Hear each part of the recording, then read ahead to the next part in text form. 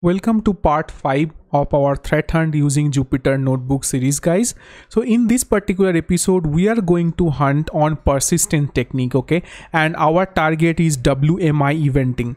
So if you see I have already a persistent WMI eventing notebook created and what is the hypothesis guys? So advisories might be leveraging WMI for persistence in my environment. Now why it is very much important on very much easy because WMI is the Microsoft implementation of web-based enterprise, right? And it has nearly any convenient way for making good techniques of persistence because WMI can talk to any of your system processes, um, uh, any of your like uh, services, antivirus products, startup command and anything. So WMI object communicate with each and every process and that might be present into your machine. So basically you need three things filter consumer and binding. And once you have that if you can spawn up and if you can use that particular thing to tell WMI to do malicious stuff, you can almost bypass your mechanism. So that is the reason we are going to hunt for it and we are going to do the same thing as the way we have keep on doing it. First we will uh, do the initialization part. We will uh, just copy paste from our other notebooks. Once we are done with this particular initialization we will do the data loading. We have again a dummy data for our tutorial purpose. Once we have done with this data loading so data loading means uh, you need to wget the data and you need to unzip that particular data once that is done we are going to parse that particular data basically. So parsing is required. So that means we are going to create a file which is nothing but uh, uh, two files over here. So uh, one file is basically um, your session file on which you are creating your file uh, table and next one is your temporary table format okay? So what is our first analytics guys in this particular area? So first analytics is always important because that is the pivot point on which you need to go for so it's pretty simple. We are looking for WMI event filter get registered. Okay.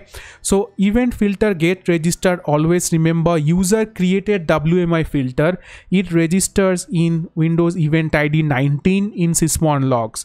And we are going to identify the timestamp, host name, user, event namespace, name and query by which that WMI get registered. Okay so let us run that query and let us see what exactly the output that we are expecting out of it.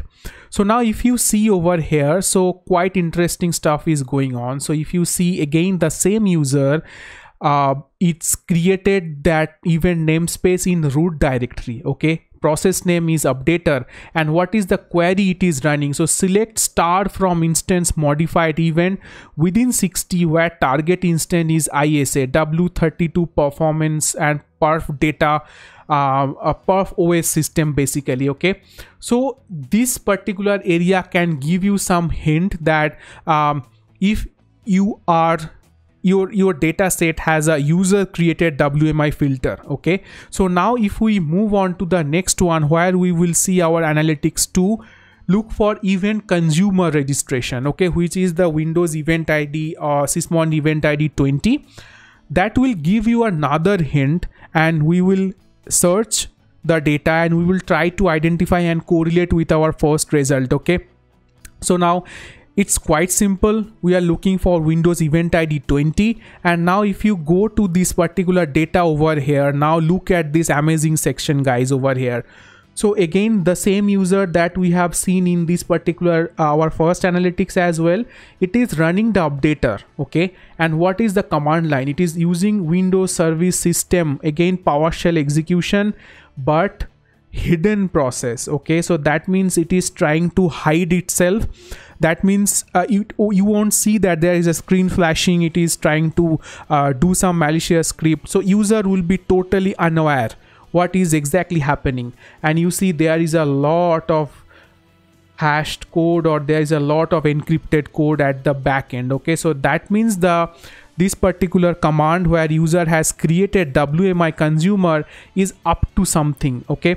So you can just go there and you can collect this particular data as, you can see this is ending with uh, uh, double uh, this sign.